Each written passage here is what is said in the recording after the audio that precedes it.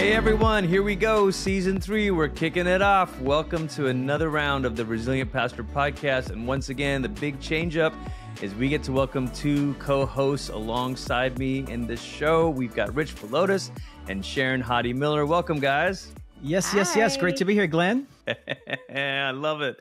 One of the things I love about you guys is um, your love, or maybe it's Sharon's love for Disney, and Rich, maybe it's your wife's love for Disney. I mean, uh, what what's the Disney connection here, Sharon? You were just out here with us at Rock Harbor, and you snuck in a Disney day.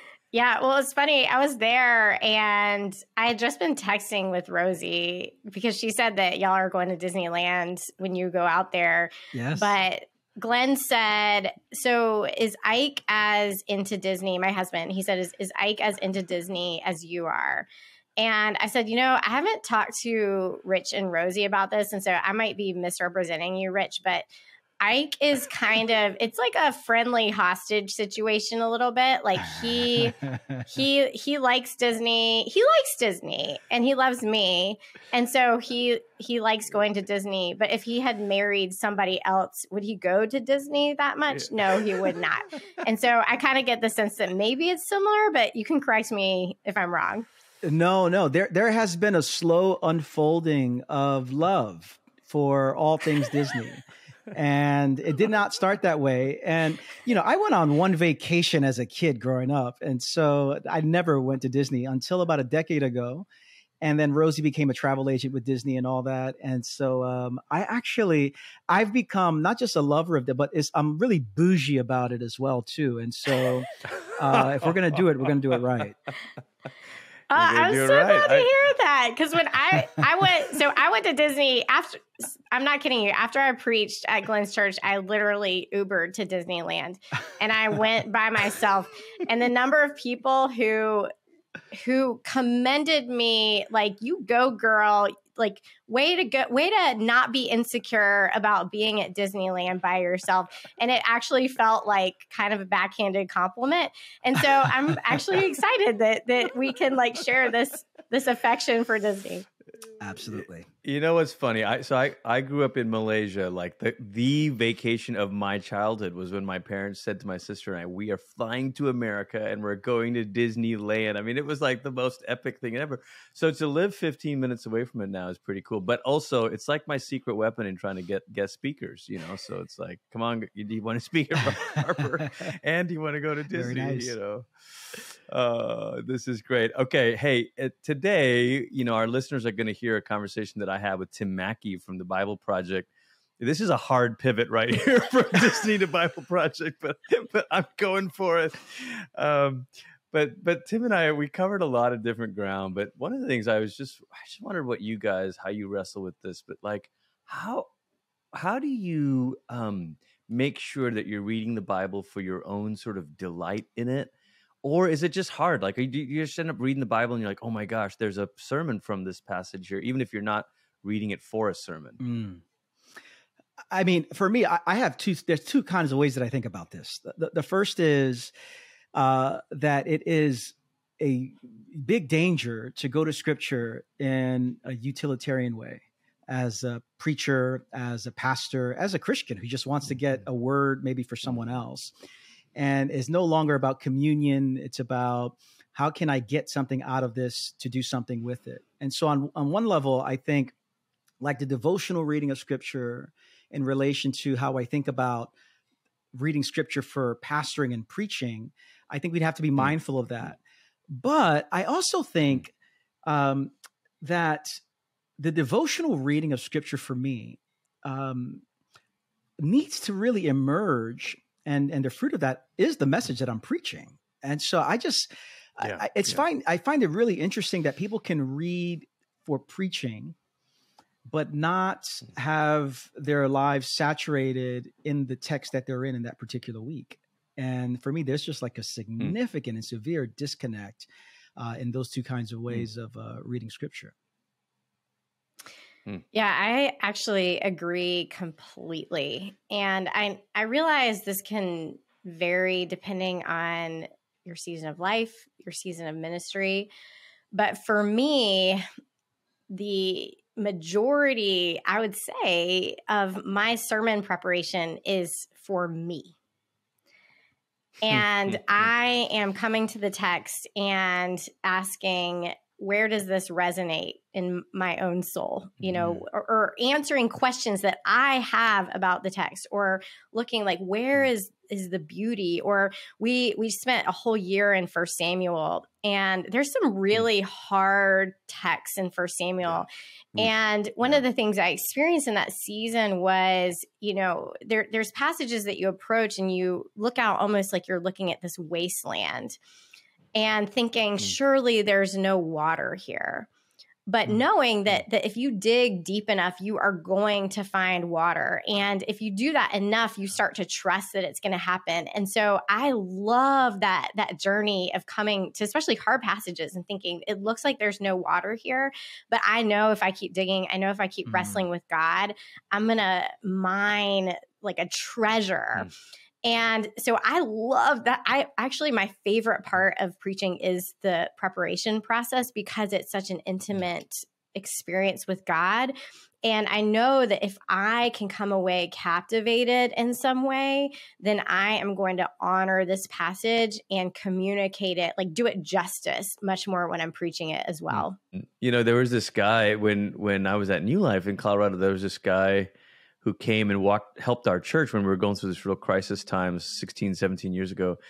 And every time he would come to meet with us he would say i read in my quiet time this morning and he would share like the most perfect insight uh, for us you know which is we used to call it his magic bible reading plan. Like how does god like his magic bible reading plan?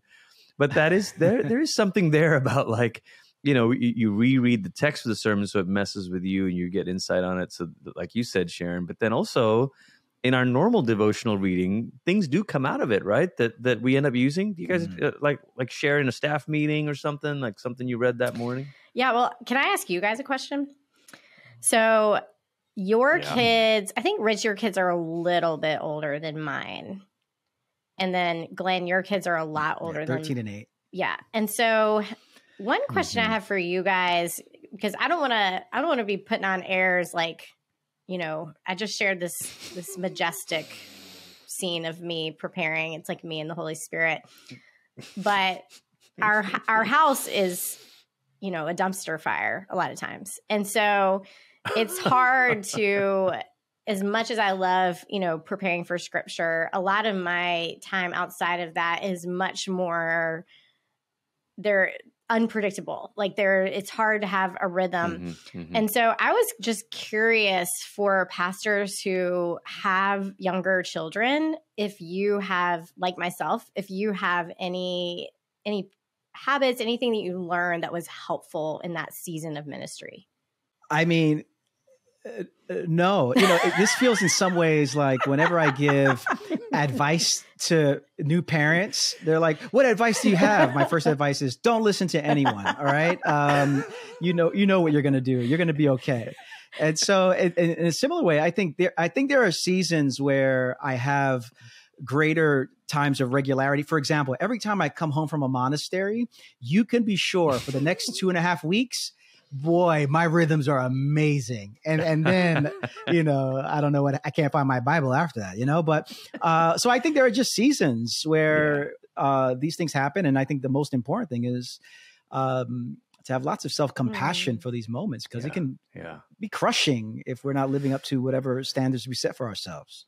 It's so true. I, I have a chair in, a room in the house that I'm like, this is my Bible reading chair. But like maybe one day of the week, I sit in that chair and read the Bible. You know, uh, so a, a, lot of times, honestly, like a lot of times, what what happens is if I have some drive time, I'll play from the audio Bible and have it read. But like when I'm trying to pray the Psalms, like I'm in a season now where I'm trying to pray the Psalms again. I'll like make sure that it repeats that same psalm like two or three times. So I'm listening to it over and over and over again or sometimes it's immersive. Like I wanted to get a, a pano view of like you know John's Gospel or whatever. So like listen to the whole thing while you, while you're you know out on a walk or you know. So there are there those are some of the ways that it isn't monastic. It's just so funny, Rich, because when Sharon's like saying that her house is a dumpster fire, I was going to say, yeah, we don't live in a monastery, and then you follow with, when I return from a monastery. Come on. Well, it's only two weeks after that, Glenn. I mean, so I have a two week good run, and then after that, it's it's a dumpster fire again. Uh, that's great. okay, so so we got our own kind of Bible reading stuff, and that is, yeah, there there's there's some rhythms that we're trying to get in with that. But how how like as pastors, how do you help people, the people you're pastoring, you know, engage with the Scripture themselves? What are some of the things you guys have done? You know, for me, Glenn, I when I think about helping people get into the Scriptures and world of the Bible, uh, I think we have to help them come to it with, with uh, in reality. Uh, Thomas Merton, in his book Opening the Bible, it's a little book about 90 pages. I find it so helpful. Uh, he says that the Bible is without question one of the most unsatisfying books ever written, at least until the reader has come to terms with it in a very special way. And there's so many other books that, if we're going to be honest, will captivate you and keep you your attention a lot longer than the Bible. I mean, if you try reading Leviticus, good luck. Uh, but um, I still number one come to it with uh, you know with some realism. Uh, but I also think, I mean, I've tried to help people in community uh, and in small bite-sized things. I think the story of scripture that comes to mind is Jesus feeding the, the thousands with a little bread and a little bit of fish, and that a little bit can go a mm-hmm. long way in the mm-hmm. presence of God. And so we don't have to read everything at all at once, but little by little can go a long way. I like that a lot. Sharon, what about you? I mean, uh, you guys, you and Ike, you guys do anything to help, you know, the people engage in scripture and stuff like the church? You know, it's Rich's answer is so interesting because it points to the paradox of scripture. Because on the mm. one hand, you're absolutely right. There are aspects of the Bible that are boring there mm. are aspects of the Bible that are weird. And there it's it can be feel very inaccessible. Mm-hmm. And yet it will absolutely change your life. Mm-hmm. And mm-hmm. I think that also points to the importance of knowing your people Mm-hmm. And where are they and what are they yeah. needing? Because one thing that I think our people mm. and and I, would be curious, Rich, if, if you experience this as well. Like we we are in the Bible Belt, but we're in a very progressive area. And so mm-hmm. people know the Bible, and, and maybe that's something that is different with your context. People know the Bible, but that is a mm. hindrance to them. Mm. Like they mm. think they know the Bible. And so a big part of our work is re enchanting people yeah. with the text, if that mm. makes sense and like yeah. recaptivating them with the beauty of scripture.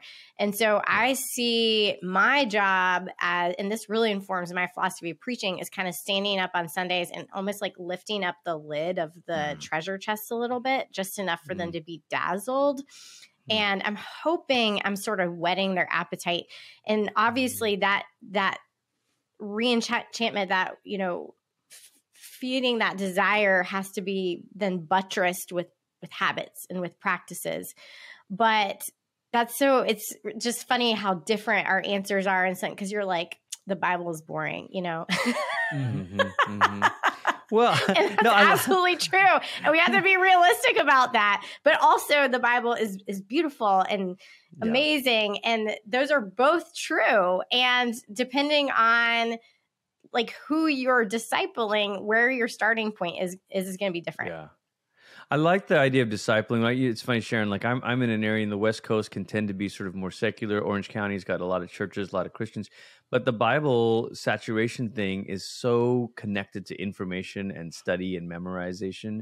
And so one of the things for me, just pastorally, is getting people to pray the Bible, even in these mm. pastoral appointments. You know, so you're sitting down with people and talking with them about their life and what's going on but but then instead of just saying okay well great here's a little bit of advice or here but to say hey what what what do we open a passage of scripture together? Let's read to it together. Let's let's pray through it together and almost that becoming a form of discipleship. Man we could go on for a long time on this. We got to get to this conversation. I had a great convo with tim mackie uh, one of the places we didn't even get to explore here, uh, but I think Tim and I get into a little bit. Is just even the role of technology. Like, does technology help or hinder our engagement with the Bible? Is it is it eh, obviously it can be a, a good thing, can be a tricky thing. But hey, before we get into that convo with Tim, I want to just say a word of thanks to some of our partners that we're working with on this initiative. World Vision cares deeply about this generation of emerging leaders that God has raised up for this season to mobilize His church. That's why World Vision and Barna have partnered for a very special webcast, Engaging Gen Z Why There's Hope for the Next Generation and the Church. You can get free access today at worldvision.org slash resiliencepod. And we want to thank Full Strength Network. Full Strength created a well-being membership specifically for pastors and ministry leaders. They provide access to coaching and counseling experts, well-being resources, and a community focused on living healthy lives. Learn more or join now at fullstrength.org. Well, Tim Mackie, what a delight to have you on the show today. Welcome to the Resilient Pastor Podcast. Yeah, thank you, Glenn. It's good to be here talking with you. Tim, you spent a lot of time uh, in academic settings, obviously teaching, but also studying, doing your own uh, PhD work, grad school work.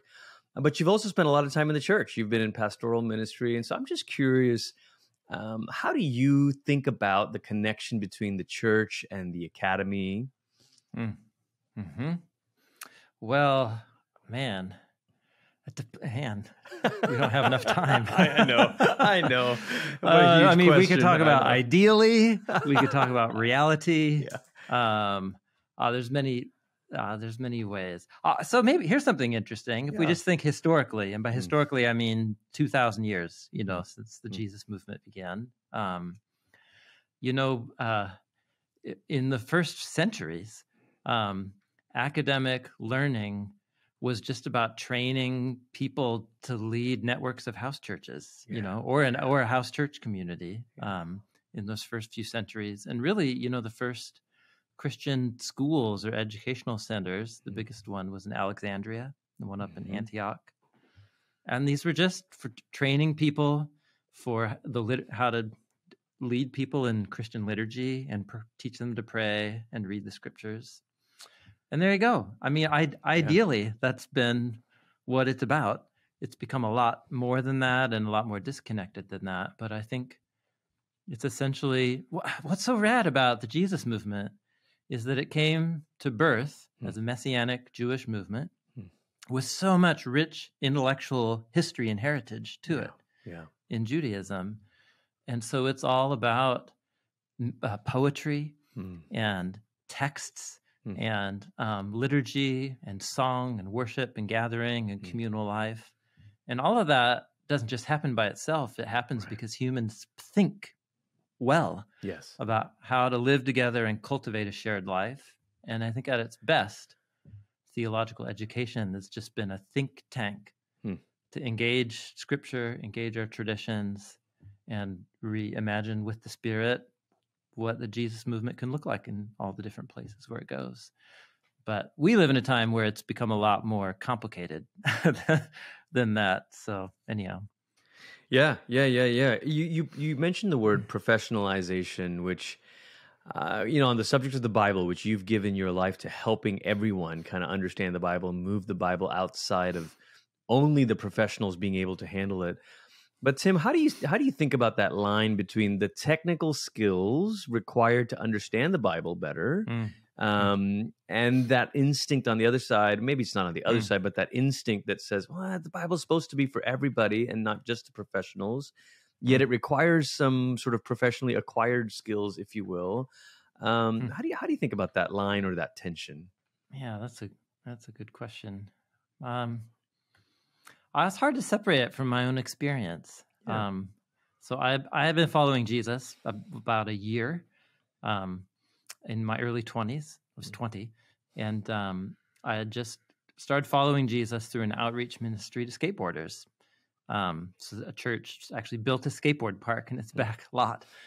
And uh, so, I, anyway, so I, but it was across the street from a Christian college. Um, that had a whole major in Bible. And so um, I started volunteering at the skate park and was asked to lead a Bible study for junior high skateboarders. Wow. And I was like, I, I don't know anything. I can tell my story and I can tell you what I'm learning about how awesome Jesus is, but I don't know about the rest of this book. And so um, I was, just, I remember sitting in my first classes, how to study the Bible, mm. and I was just blown away about, I was just everything. I just thought it was the coolest stuff in the world. Um, and so I just started getting simple tools, not nothing to do with Greek or Hebrew, just mm. like learning to recognize literary styles mm. in the Bible and the different expectations, learning how to trace repeated words, mm. um, learning how to follow. This is going to sound elementary, but I almost failed at high school. Uh, learning how to follow the an argument and yeah. a coherent line of thought, like in Paul's letters, where he develops a line of thought, like just basic skills that you, you don't need to know anything about Greek or Hebrew. Mm. So, in that sense, and again, this goes back to the history of Christianity. It's always been a movement mm. that has been teaching people to read and yeah. teaching people to think mm. and to mm. level up from wherever they're at, beginning at. And so, in that sense, education has always been a part of uh, the, the, Jesus movement at its best. Hmm. And so, in that sense, like we all can increase our skills, yeah. And it's just a part of becoming a, a mature human is learning new things. I love that. B- however, the Bible is also like um, uh, pick your music genre, like classic jazz, you know, or classical music. And I'm not a I like I'm not a music historian. Actually, I took my wife uh, to the Oregon Symphony huh. recently. I don't do that very often, and um, it was beautiful. It was beautiful. It was, hmm. they were doing um, Tchaikovsky, hmm. um, and I say that like I know very much. I, sure, I and I'm nodding Wikipedia... along. I'm nodding along. I, like I know exactly. oh, yes, of course. I read the Wikipedia article before we went, just so I like knew who this guy was.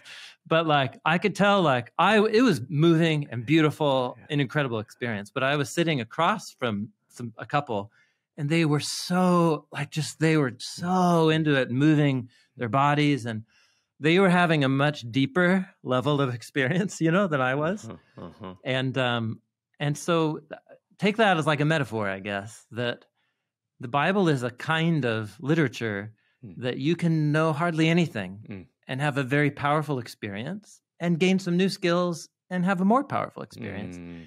But you can also be 25 years in and know the languages and have gained a lot more skills and you'll experience it at a yet deeper level, but hmm. it's not like it's inaccessible you know to to people at, at, just at the beginning and and that has been my own journey and it's the journey of millions of people too tim i really like that metaphor a lot because you could even keep pressing into it and say and then if you really you know want to go beyond learning say the story behind a tchaikovsky you know composition mm-hmm. or whatever uh, maybe you find a, a, piano piece and you learn how to play the piano yeah. and you learn how to play yeah. that piece and you're you're imitating that great piece of art which yep. is which is sort of um, you know what we're meant to do with scripture. So I, I'm curious, Tim, like like what was the impulse for you when you guys were starting the Bible Project? I mean, what was your hope for Christians? What is your hope for Christians as as it mm. comes to mm. engaging mm. the Bible? Mm. Um, again, it's hard to uh, separate it from my own personal yeah, story. But, but my my, yeah. enc- my encounter with Jesus as it was as a young man um, who grew up here in Portland and skateboard subculture. Hmm. Um, I had n- nothing going on in my life, uh, it, and um, my brain was so clouded from years of smoking too much pot that I just, for me, when I met Jesus, I was so compelled just by who, he, who the stories about him and how he treated people. And then I saw my friends who were skateboarders who followed him, hmm. and their just their lives were so compelling to me and so different than the friends that I was partying with. Hmm. And so in that sense it was just a very personal, emotional, relational encounter hmm. with followers of Jesus and then Jesus himself through the scriptures. And so and then I sat in those classes, you know, just trying to fit, and I just fell in love. Hmm. So my encounter with the scripture has been one of delight, of continuing deepening delight mm. from day one. Mm. And um, I have come to learn, and I did come to learn that that is not everyone's experience with the Bible. and so, um, really, it's I've. But once you light that ignition of excitement yes. to see that this is not what you think it is. This is actually some of the most profound, beautiful literature you'll ever encounter. Mm. It will keep on giving as much as you keep investing, mm. and it will say things that you have never thought to think mm. before. Mm. That consistently is my experience over, you know, more than two decades now. Mm. And so just to light that fire, to help somebody have that first moment where they're like, oh, this is not what I thought it was. Mm. And if it's just that right there. Because yeah. once you ignite that, you can't stop a human being who is curious and is excited, you know? So, of course, there are other things about facts in the Bible or things about it, and that's helpful too. But it's really about that spark of curious excitement. Yeah, that is the thing that um, we're hoping to ignite in people. Well, it is it is absolutely what you and the team at Bible Project do so well, Tim. I mean, just to take a moment here and just to affirm that. I mean, the the videos, the way that you connect meta narratives and themes and threads, that absolutely lights the fire. You, you know, for me, and I know for for many, many, many others. I, I want to ask you again, maybe from your own personal um, experience from pastoring and sermon prep and Bible mm-hmm. reading um, how that all worked together. But but to set that question up, um, when Barna asked pastors how often they hmm. kind of did their own personal Bible reading, other than you know as a prep for sermons. Hmm. Uh, a little over half, so 55% said, Yeah, yeah, daily. I read my Bible daily apart from sermon prep. And then about 27% said, mm, If I'm honest, it's more like a few times a week. Hmm. And then two out of five pastors, so about 42%, said that one of their greatest spiritual concerns was teaching others to read and understand the Bible. Talk hmm. to me about your own experience as you were in pastoral work and prepping hmm. sermons. How, did you ever struggle with that? Like, sort of reading the hmm. Bible, but thinking, oh, okay, here's what I can get out of it. You know, here's what. I can kind of, here's the sermon from this, you know? Yeah. Well, yes, uh, to a degree. Um, I don't know. I think the only reason I ended up teaching the Bible for my job was just because I loved it so much. that's, great. That's great. And so, uh, again, I know that's not everybody's experience, but mm-hmm. um, it was mine. Mm-hmm. And so it was always what I did ask the leaders at our church community was if if I could have half a day a week mm-hmm. to just cultivate my own learning interests related to the Bible, but apart from anything that I might give a sermon on. Mm-hmm. Uh, that's a pretty significant half half of a day. Um, but they said yes, mm-hmm. and because I tried to, convince them that like uh, my the way I work is um, my my most my most creative thinking is going to come out of some overflow that isn't just mm. like an instrumental engagement with the Bible. Right. Um, but there were times when that ebbed and flowed, you know, or waxed mm-hmm. or waned, pick a metaphor, mm-hmm. and so but i really resonate with that with mm. that tension i i think for me an equally and related tension was teaching the bible so much that what i was the ideas that i was teaching about often outpaced my own personal growth or character yeah. growth in those yeah, particular yeah, areas and so mm. like i'm teaching about all of these ideas or ideals mm. um, and it's like i just can't keep my can't personally keep up hmm. like i need to either stop and just like work out the stuff i taught over the last year hmm. but it's the next anyway you get what i'm saying so that was another yeah that's dynamic too that's very real for people yeah. in bible teaching ministries is that yeah. disconnect hmm. between character growth and your the growth intellectually We'll get back to our conversation in just a second, but first, I want to take time to thank one of our incredible sponsors, World Vision. Make sure to check out the webcast that World Vision hosted with Barna about engaging Gen Z and raising up the next generation of leaders in the church. You'll hear from Gen Z themselves, along with pastors and leaders, on how to engage today's generation and make an impact on those to come. Go to worldvision.org slash resilientpod now for free access. We also want to thank Full Strength Network. Pastors and ministry leaders are often so focused on helping others that they don't take time to take care of themselves. At Full Strength, they understand these challenges and they want to help. So they've created a well being membership specifically for pastors and ministry leaders. This membership provides access to coaching and counseling experts well being resources, and a community focused on living healthy lives. Their vision is to see pastors and ministry leaders thrive in personal well being and lead the church to impact the world. Learn more or join now at fullstrength.org. And now back to my conversation. You know, you named a couple of things there, Tim, that I just want to make sure our listeners catch. You you you named the space to sort of almost creatively, non um, pragmatically, just mm. reading the Bible. You, you, you, talked about it yeah. sparking your own delight and and and yeah, um, or, or reading biblical scholars yeah. Yeah. or theologians. That's just books unrelated. I'm not trying to get anything out of yes. it. I just yes. am excited to learn about this set yes. of ideas and theology or the Bible, and maybe it'll go into a sermon one day, but that's not the purpose. But but that's a really practical thing, Tim, that not a lot of pastors feel like or maybe hmm. think to uh, ask for. You know, to to sort of say, yeah. hey hey, could I? But it's absolutely replenishing the well. I mean, all the different leadership yeah. books or whatever. Stephen Covey called it sharpening the saw. You know, years ago. Yeah. But that that idea of of of going, making sure that it's that it's fresh and that it's you know there.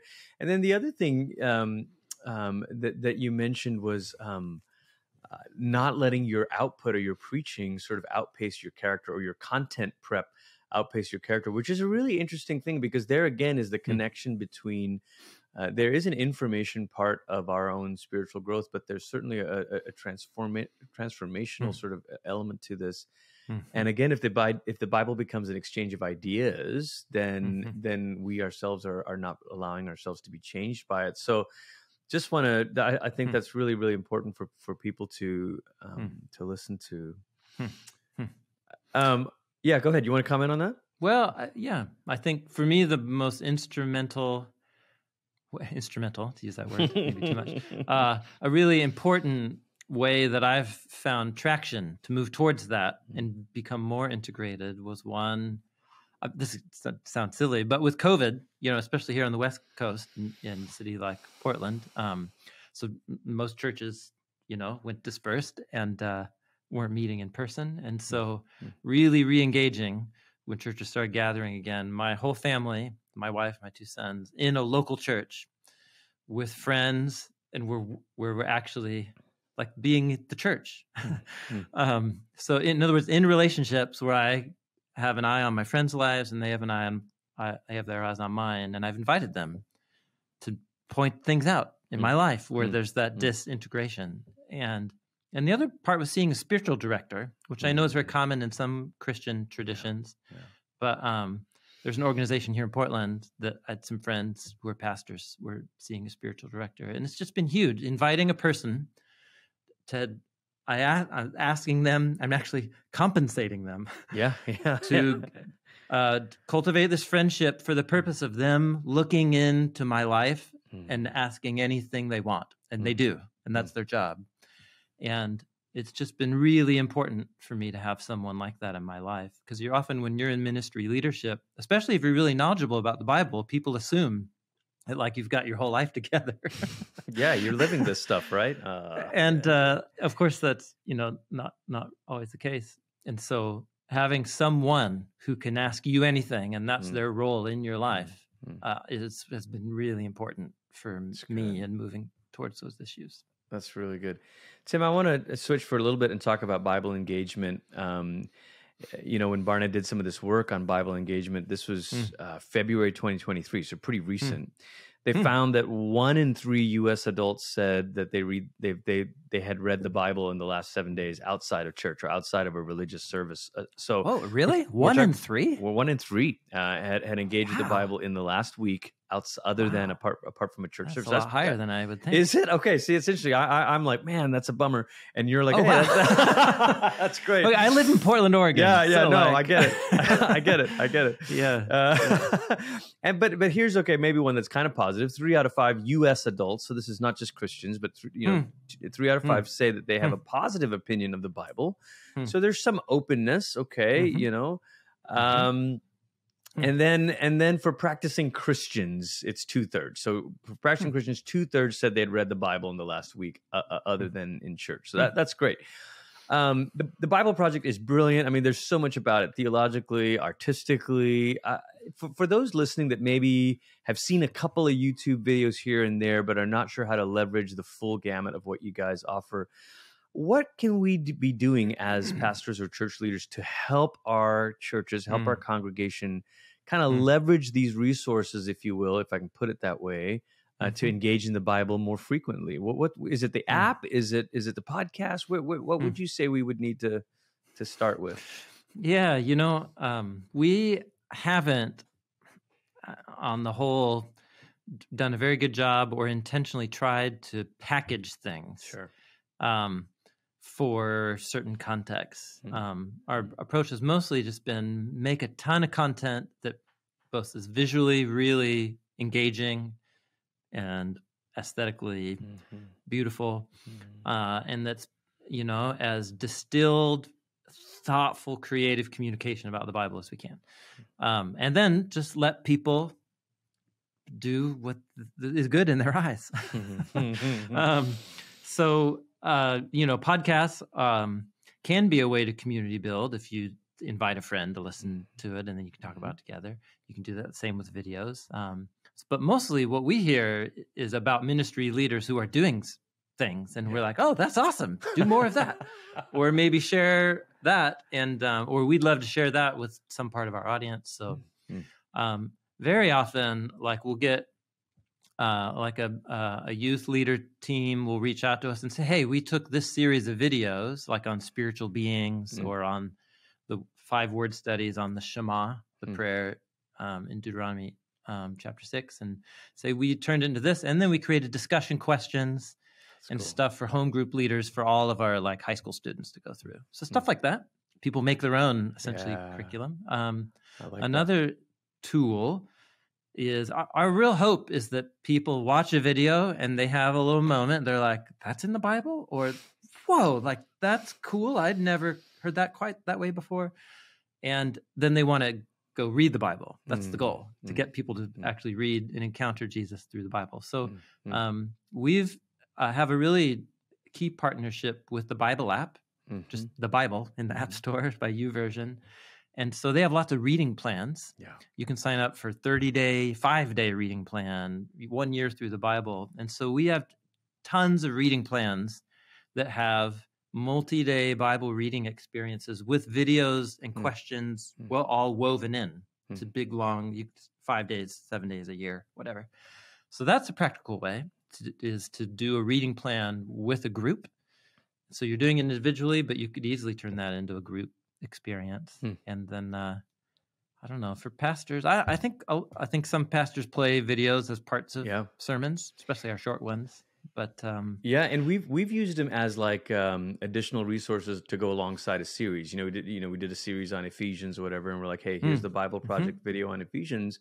Mm-hmm. Um, take take some time and watch that alongside. So it, it, it's it's really wonderful, sort of additional structure resource. Um, and and and small groups do it as you mentioned you know to, to yeah. say hey uh, we want to track along with sundays and we're, this yeah. is the book that we're in so let's watch this yeah. playlist of videos or whatever our hesitancy mm. in packaging things mm. is the way that you would package or shape something for a youth group in Portland is really different than you sure. do it for a youth group in Georgia, sure, or Tanzania, or you know, yeah, yeah, uh, or to, and so it's more out of a hesitancy, like we don't presume to know mm what's the best way for this content to engage any given church. Mm. Um, but we are thinking about it more and yeah. thinking about ways that we could um, help organize things a, a, bit more to set yeah. ministry leaders up for success. I love that.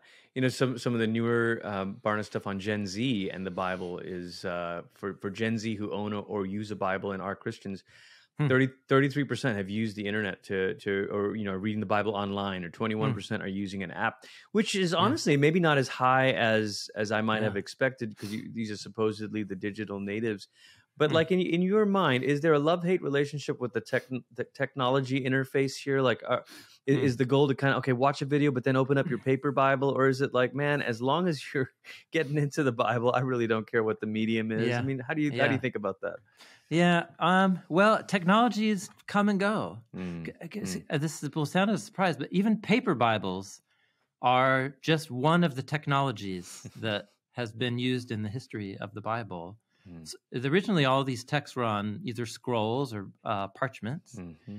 And primarily, especially the Hebrew Bible or Old Testament, was designed for memorization and oral performance mm-hmm. so that um, I really these are crafted to be orally performed and memorized so that you do a Psalm one, mm-hmm. which when we read on uh, his God's law, he meditates day and night. The word meditate means literally to pronounce out loud to oneself, hmm. to recite. Hmm. Um, so the biblical literature is designed to be heard hmm. and to be recited, hmm. and that's the original technology has nothing to do with paper. That's great. That's great. and the, even the scrolls that it was on were visual prompts for the, the reciting process. So mm. even our paper Bibles are a technology that mm. offers some benefits, but also some some downsides too. Um, and so I, that's kind of how I think about you know uh, digital technology. An advantage that digital technology has um, is that you can create interactive um, forms of experience with the Bible in ways that just a print paper Bible can't. Mm. Um, but on the flip side, um, the things that people are going to interact with most are these, yeah. which are like ruining all of us, you know, right? and also giving us a ba- great benefit too. Yes, so it's yes, like yes. it's really yeah. every technology has its um, strengths and weaknesses, yeah, and how do we how do we mitigate those? So I don't. We're not like we don't create videos with cliffhangers on the end that's like get you to watch the next one and manipulate you to right, keep watching right. for hours. Right. Um, but uh, we are trying to use it because it's it's the marketplace. Yes. Where like Jesus going to the well yes. in Samaria, it's where people are. Yes. And it's a place where you can get people connected to Jesus and the scriptures, and there you go.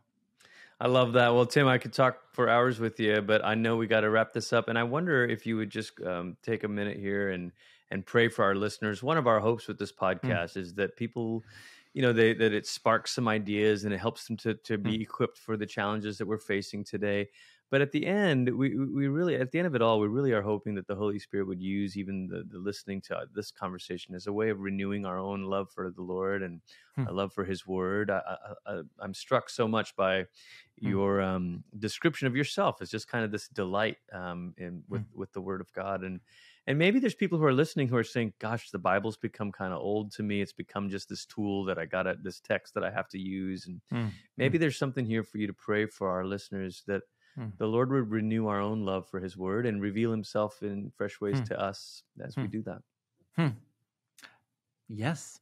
Yeah, I would be honored to pray, of course, Glenn. Yeah.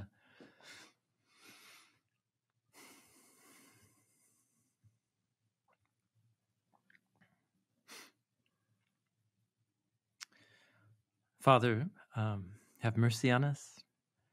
Um, would you, in that mercy, uh, open our eyes to see wonderful things in your word and in your instruction? Um, you know the story of every person uh, who's listening. Um, you are with them, around them, and in them, and uh, you know what they need today, and you know um, where they're hurting and where they're disappointed and where they are full of excitement and joy. Um, and just wherever each one of us is at right now, um, we want to encounter you in new ways. We want to see uh, the beauty and brilliance of Jesus. And um, we want to encounter you through the scriptures and through your word. So, would you please just have mercy on us and bring in the people, the resources, the moments uh, that could reignite joy uh, in reading and sharing scripture with other people. So we know that you are merciful, Father, and we trust that you will give good gifts when we ask. So we do ask in the name of Jesus. Amen. Amen. Thank you so much, Tim. What a joy to talk yeah, to you. Glenn. Yeah, likewise. Good to talk. Once again, thank you to our partners. World Vision cares deeply about this generation of emerging leaders that God is raising up for this season to mobilize His church. And that's why World Vision and Barna partnered, partnered for a very special webcast, Engaging Gen Z Why There's Hope for the Next Generation and the Church. You can get free access to the webcast today by going to worldvision.org slash resilient pod. That's worldvision.org slash resilient pod. And a big thank you to Full Strength Network. Full Strength created a well being membership specifically for pastors and ministry leaders. And so to get access to Full Strength's coaching and counseling experts, well being resources, and more, go to fullstrength.org. Thanks again for listening, friends. May the grace of God be with you, and the same Spirit who raised Christ from the dead renew your inner being today.